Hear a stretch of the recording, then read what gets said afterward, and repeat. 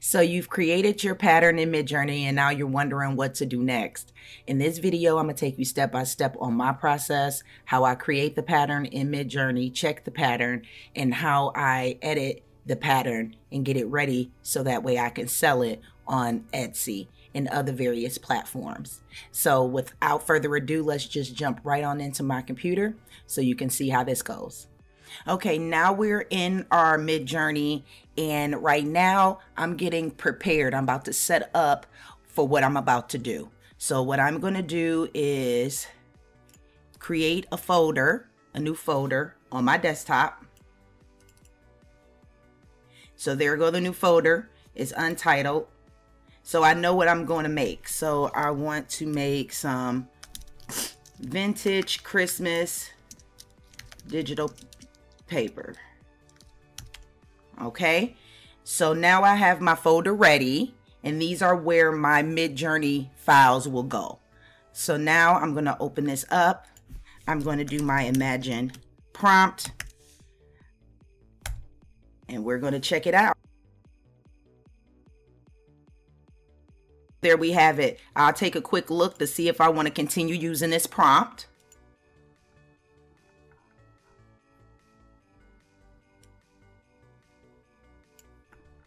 Okay, not bad, not bad.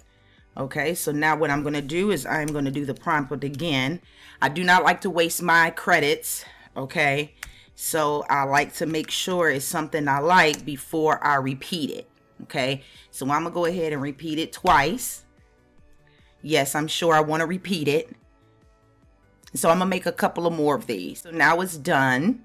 So I'm going to grab the ones I like so we checked this one already. I always check them first, okay? I go in and I check them to make sure there's nothing funky going on in the image, right? Um, I've seen horror stories about that, and I don't want that for my customers, right? So one, two, I like them all, but two, three, I like all of those. Let's go check this one out while those are upscaling. Okay.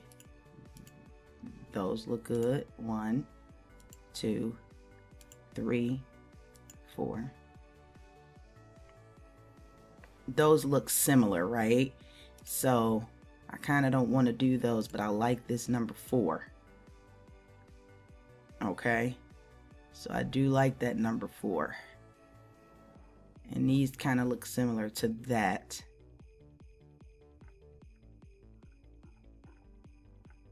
I do like number three too because I like that color. Okay, so those are upscaling. So what I do next is I will go get the ones that are upscaled. Click, open it in browser, and then we're to save. And I save these as I want them to be named. Vintage Christmas 1. And I want it to be saved on the desktop inside of my vintage paper. Save.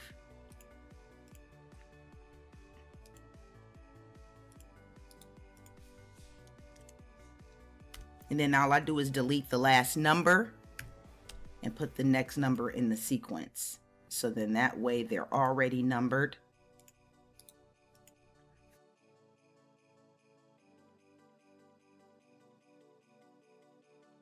And then we're just going to close out all of the rest of them and get back into the Midjourney. And now we have all of our files downloaded into our folder on, on our desktop. Okay. So now what I want to do is grab that file that folder. Here go the folder right here. And we're going to go over to the seamless pattern checker. So I kind of want you guys to see the folder. Here go the folder right here with our designs in them directly out of Midjourney. Okay, so now we're going to go in here and grab all of the designs like such. And then we're just going to drop them onto there. Now this is how we check to make sure the pattern is seamless. So we want to double check to make sure the pattern is seamless. and it has all of our patterns that we just created all in one. And this pattern checker is free to use. Okay, so they look good. Looks very good. Okay. People can use these as backgrounds to tumblers they're getting ready to, to make. And this is not a tumbler actual wrapper fit for a tumbler. These can these backgrounds can be used for people who make the wraps for the tumblers. So that way they can use this as their background and then they can size it to the size the tumbler needs to be and then they can highlight those uh, tumbler wraps. It can be used as a shower curtain. It can be used for uh, a, a picture, uh, gift wrapping paper, um, wallpaper. it's so many things you can use digital paper for. It makes no sense. So whoever the creative is that gets these types of digital papers, it, they can they can scrapbook with it. They can um, make journal paper out of it. All they got to do is put this paper into their software and kind of like lighten the opacity and then put the lines on there or whatever. And it can be like a whole background for a piece of journal paper, part of their journaling or their junk journal or scrapbooking. It can be used for a tons of things. Digital paper is very versatile and it depends, it's only limited by the person's thought process or creativity when it comes down to digital papers. That's why I love making them. So they're all seamless, right? So we're good to go with that. So that's done. Let's head back over here. Now it's time for us to jump into Photoshop. So we're going to get Photoshop ready. I'm on my Stream Deck now. I'm going to get Photoshop ready. Okay, so now Photoshop is up. And with Photoshop, all we want to do is we want to go open a new file. And if you haven't made one already, which is a template, I've talked about template templates in past videos. If you want to have a template ready, all you have to do is set it up with your width and height. I do 3600 by 3600, which is a 12 by 12 inch. That's pretty large. And I do the resolution at a 300 DPI or PPI is also called. I keep my transparent background and then you can click this little button and it will give you a save prompt and you can name your template and then it'll show up on the side like mine's do. Okay, so I have mine selected already. I'm gonna create the template. Now in this template, I wanna check it. Image, image size, and it needs to be in this format. It needs to be a 12 by 12 inch the resample does need to stay on in this. It needs to stay preserved, detail enlargement. And in this, we're not going to export. We're going to save a copy as, okay? So I just want to let you know if you've seen other videos, you've seen me turn this off for other reasons. But in this video for digital paper, we're leaving it on, okay? So this is good. We're good with that. Now what we're going to do is go back over here to our folders, to our papers, and we're going to drag and we're going to drop them onto the board. And then we're going to press enter to load them all up. We're going to keep pressing enter until all 10 of them are loaded. So now we have 10 papers in Photoshop. We're going to go over to our layers palette and we're going to turn everything off and then we're going to start from number one. So now we're down at the first one. So what we're going to do is we're going to click on number one and then we're going to go to file and then we're going to go to save as. Now we're going to save on the computer and we're going to save on the desktop inside of our folder. Okay, so that's what we're going to do. We're going to save inside of our folder. Let me open this up. And now we're in our folder. Now we don't want to mix the ones we saved with the ones that are here. Okay, so we need to make a new folder and we're going to say uh, vintage Christmas. These are the final ones. We're going to create this folder. And now we're going to save this as, and we're going to change this to a JPEG. So we want a JPEG file. And then we're going to save this as vintage Christmas one. I want to save and I want to copy actually. Okay, so I copied the name so that way I can easily copy and paste the other ones. Or I can click and change. I do it both ways. So then we're going to save it in this folder.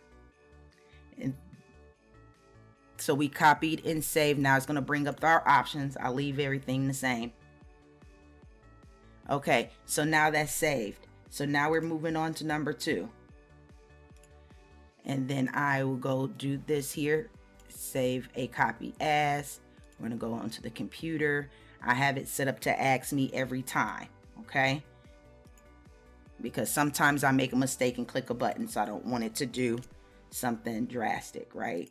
So then I'll go in here and change this to number two. Say okay open up the next one and save that as and so forth so on and so forth right? So this is what you would need to do. So i'm gonna go ahead and finish taking care of this and once i'm done we'll be back and you can see what i'm gonna do next and why i did it like this. I've just finished doing every, all 10 patterns and I made a copy and I saved. So here's the reason why you want to save a copy as instead of using export or using save as. So if we were to use the export on this and export as a JPEG, it would not render at a 300 PPI when a customer drops it into their Photoshop. It'll come back, it'll come back large, but it'll come back at like a 50 inch by 50 inch at 72 DPI. So it's not going to give them the exact settings that we created it for, right? I mean, they can easily turn it into a 12 by 12, 300 DPI and everything will work out fine. But that is one of the reasons why it doesn't populate like that is because it's the way the person saved the file. So with export, that's how it's going to come back. So we don't want to export it. Now, if we go to save as, you will notice we can't even save it as a JPEG. It doesn't give us the option in the new 2023 Photoshop the CC. Okay, it doesn't give us the option to do that. Okay, so it's only when you save a copy do you get the all these options to save as a JPEG. Okay, so that's why we want to do it. Even when you press save as, it will give you the option to save it as a copy. So you can get the file you need. But instead of doing that extra step, we went ahead and saved each and every one of them. We saved a copy into our final Vintage Christmas folder. So now that that is done, what I'm going to do is I'm going to save this whole file. So I'm going to save this into the cloud.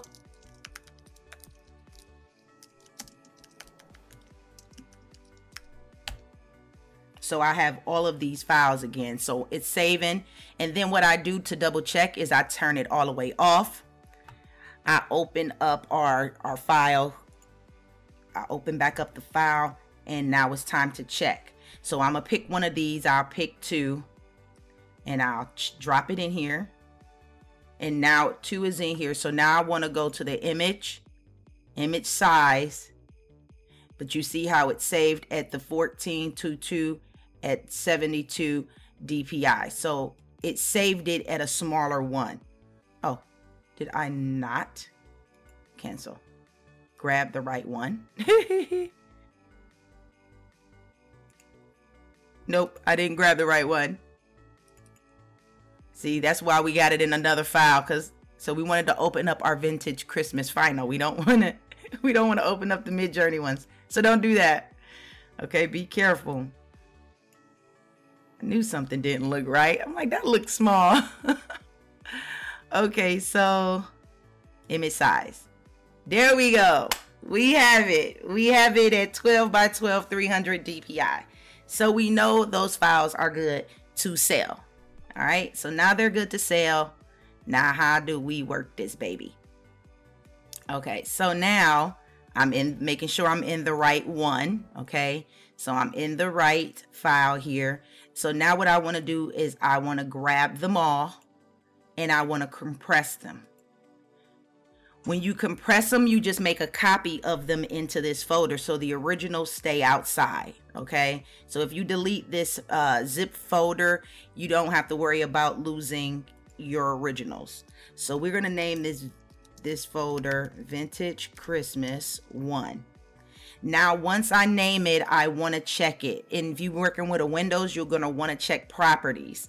I like to check it because I know I've uploaded to Etsy enough that each individual file needs to stay under 20 megabytes. So that's 20 MB. Etsy only allow you to upload five files each at 20 or below. Okay, so we need to make sure this is below 20. so this is how we do that. We go to properties or get info if you're on a Mac and you open it up and you check the the what's on the disk. So this one is at 18.8 MB megabytes. It is good. Okay, so which means I can upload all 10 of these at once.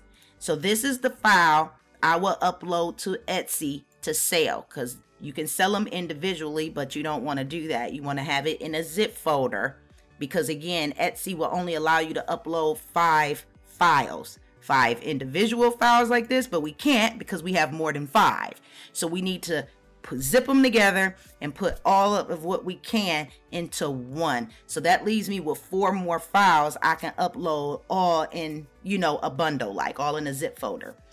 So there you have it. In the back, I fill out my description on my listing. And when it says upload the file, I upload this zip file. I drag and drop it up in there.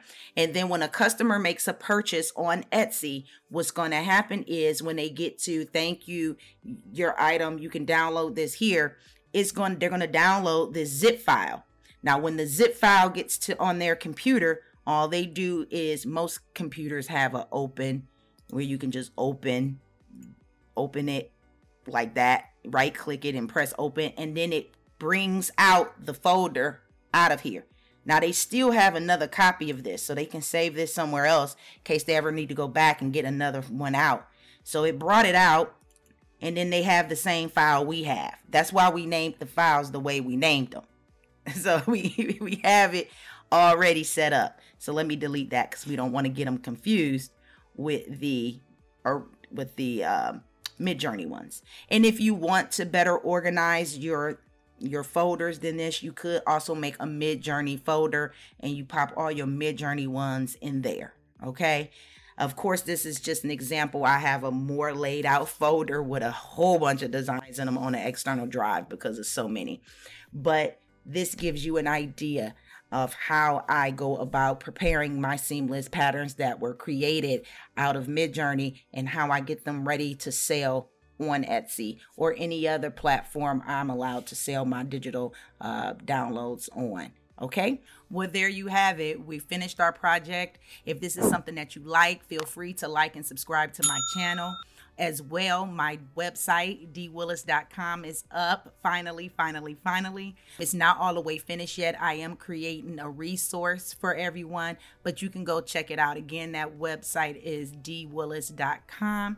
And I talk about more than just Etsy and creating digital products. I also speak on terms of ways we can create additional income by creating automatic income machines uh, for us to keep generating income in various ways using our digital products. Okay.